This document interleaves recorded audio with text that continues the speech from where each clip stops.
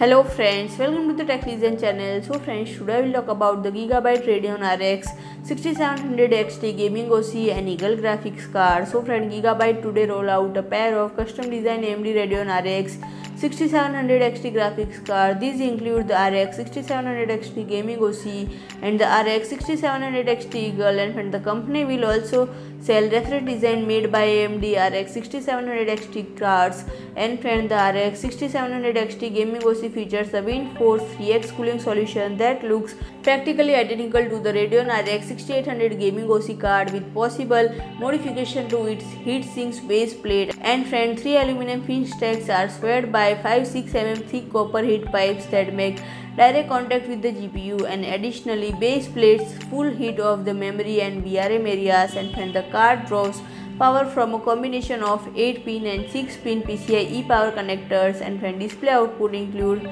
2 each of HDMI 2.1 and DisplayPort 1.4 connectors and when the Radeon RX 6700 XT Eagle is the most slender of the two custom design RX 6700 XT cards by Gigabyte. It is strictly 2 slots thick and uses the slimmer heat sinks and front 3 aluminum fin stacks are joined by 3 8mm thick copper heat pipes that make direct contact with the GPU. The power input configuration is the same as the gaming OC cards as is the display output configuration. Gigabyte didn't disclose the factory overclock speed or either card but the gaming OC card is accepted to be faster of the two. Both cards are accepted to launch on March 18, 2021. So friend if you like my video please do like, share and comment and don't forget to subscribe my channel and press the bell icon.